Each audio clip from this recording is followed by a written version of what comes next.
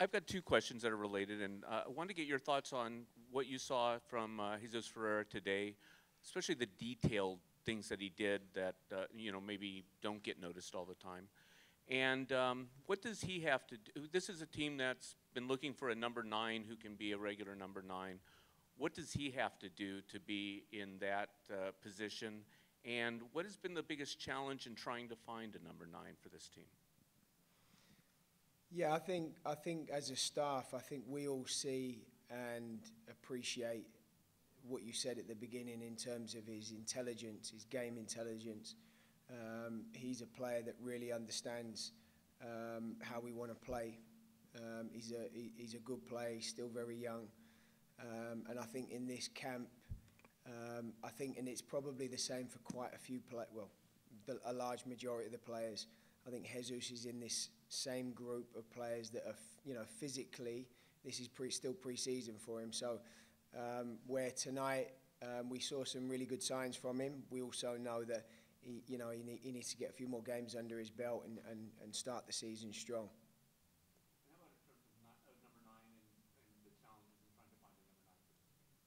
Yeah, I think I think you know over the last year or two, there's been moments where there's players we've been looking at, and then they've had injuries. Um, you know, I think it, uh, if we look at as of today, um, or the objective of this camp was to look for new players, and I think we've you know Brandon Vazquez is someone that's done really really well. Um, you know, we had to manage his minutes as well, like we did, uh, you know, all the other players um, but he's someone that we would like to see more of. Um, you've got players now overseas, you know, D- Daryl Dike is coming back. I mean, there, there, are there are now players that are back to fitness that um, that will add comp- competition to that position, which is which is going to help everyone. Andrea. Anthony, what did you see in this camp that made you give Paxton Aaronson uh, his uh, a start for his international debut. And um, did you see what you wanted to see from him tonight? And finally, have you given him any advice on what to work on when he goes back to Germany?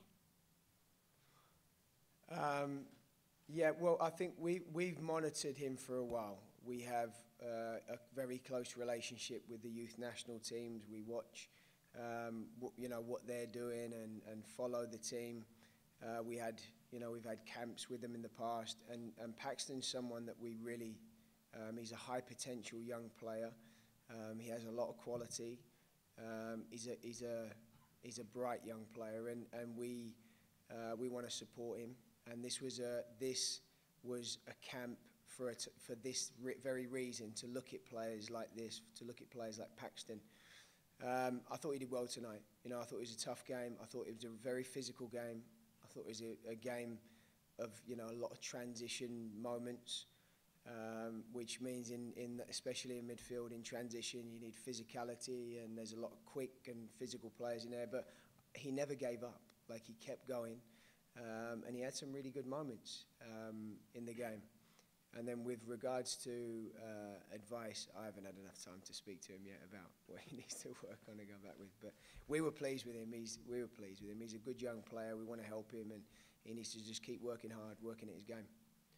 Paxton, one of 12 players to make their debut, debut during this January camp, a record for this period of time. The previous high mark for debuts during matches prior to the start of the MLS season was eight. It was across three games in 2006. We'll go to Steven Goff from the Washington Post along those lines of what Michael was saying. Um, big picture, uh, he came into this camp with a lot of young guys looking for first caps, and obviously all but one got it, uh, a goalkeeper. Yeah. Um, happy with that? Pleased with that? Uh, did you get the, Did you get what you wanted out of this camp aside from aside from a victory?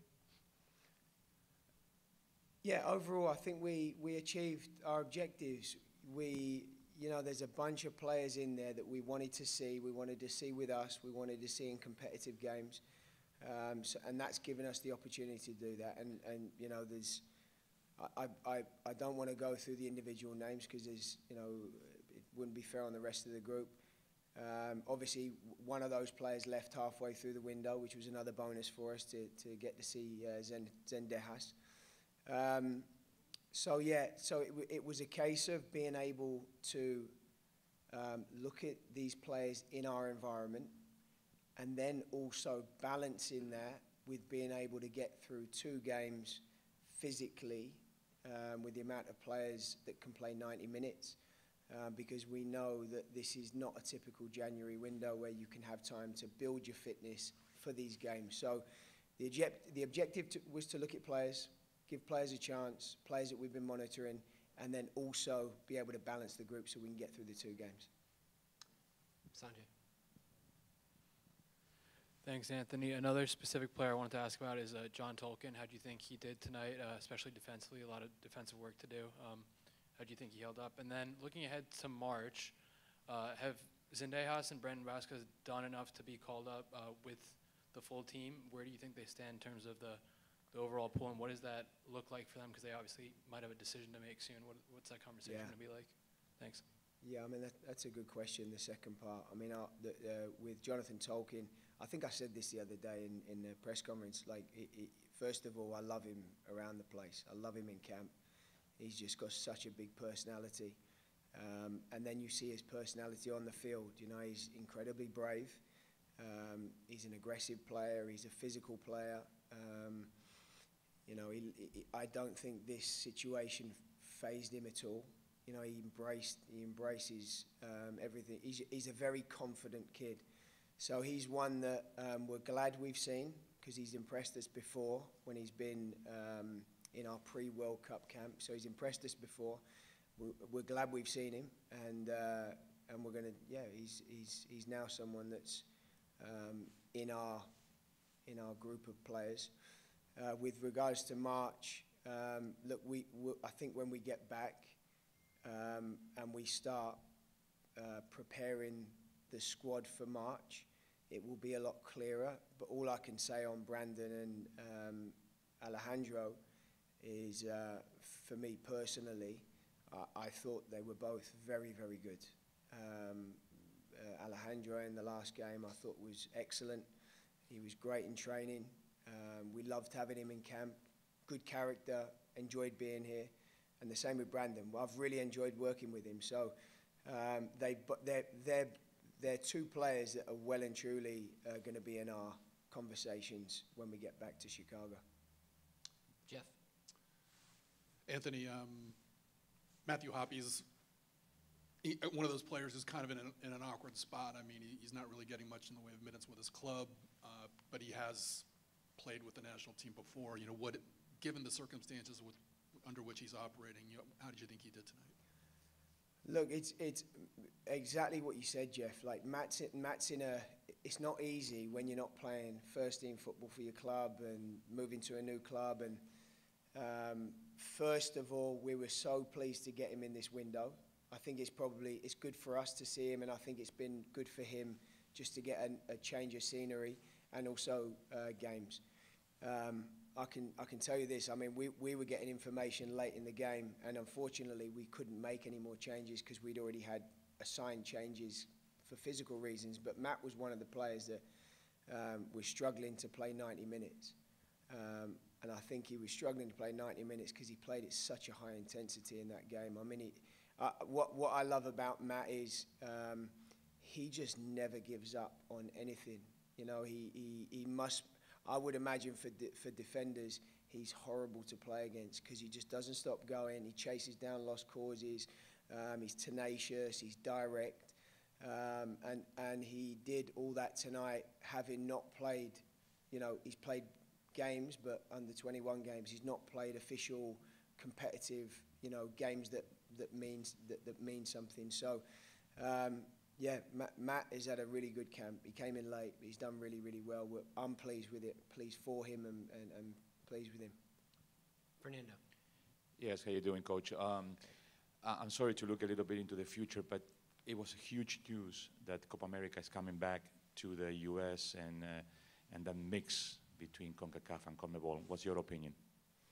I think it's great news. I think um, I think where where the program is at the moment in terms of um, what's been done over the last four years, the the, the team um, have had very lofty ambitions, and we've worked towards um, you know a goal of um, changing our identity of how we play, and I feel we've done that. We had to, you know, way back four years ago, had to change the squad, 'cause, you know, w- w- due to the age of the squad, there needed to be change. Um, I feel we've done that. We now have a really young, exciting group of players, um, and that all culminated with, you know, a, a couple of gold medals, um, you know, qualifying for the World Cup, and then and then a really good showing at the World Cup. So I think for for the states as a country, um, the national team is improving. It's, it's trending in the right way. Um, and then also soccer in this country is growing so quickly. And it's, um, and it's everyone outside of the country is recognizing that. They see new clubs come, you know, coming into MLS, the stadiums, the facilities, the crowds, the, the, the passion of the fans. So everything is moving in the right direction. And then to get this news about the Copa America is just amazing news. And I think it's just another another thing that's just going to give the country a big li- big lift and help the sport grow in this country. Damien. Hey, Anthony, uh, the other day you said this game would be a, a different test than Serbia. Um, it didn't seem like a your normal January friendly, but how did that sort of play out in your eyes down on, on the field?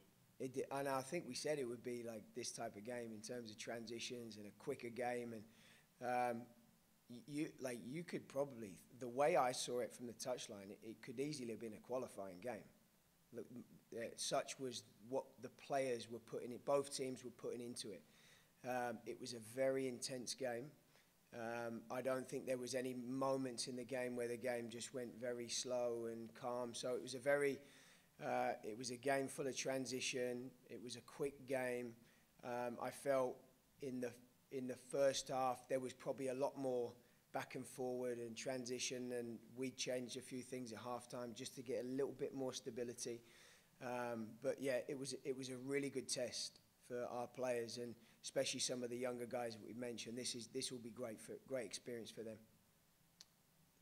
Anthony, how's it going? Um, just with a little bit of uh, about the uncertainty about you know the federation and the team. For you personally, what's next as you look forward to the Concacaf Nations League? Maybe the construction of that roster, maybe a different approach. What's next uh, personally for you? Yeah, I mean, uh, like I said, I think in the last uh, press conference, I'm, I'm good. You know, we get back to Chicago. My, my focus, until I'm told otherwise, I'm going to do my very best for the team, for the players. Um, I really feel um, privileged to have been part of the last four years. Um, you know, we've just had a, a, a talk in the locker room. We've got an amazing group of players. Like, you know, and a large number of the players are not here, but I can assure you, uh, the players love playing for this team. They love coming to represent the national team, and to work with a group of players like that is a real privilege. So, um, my where I feel I'm at, my responsibility. Until I'm told otherwise, I'm going to do all I can to help the players, help try and improve the team, help try and take the style of play forward, um, help the staff. I just want to. We, we just want to keep improving things. So, that's where my focus is um, going forward.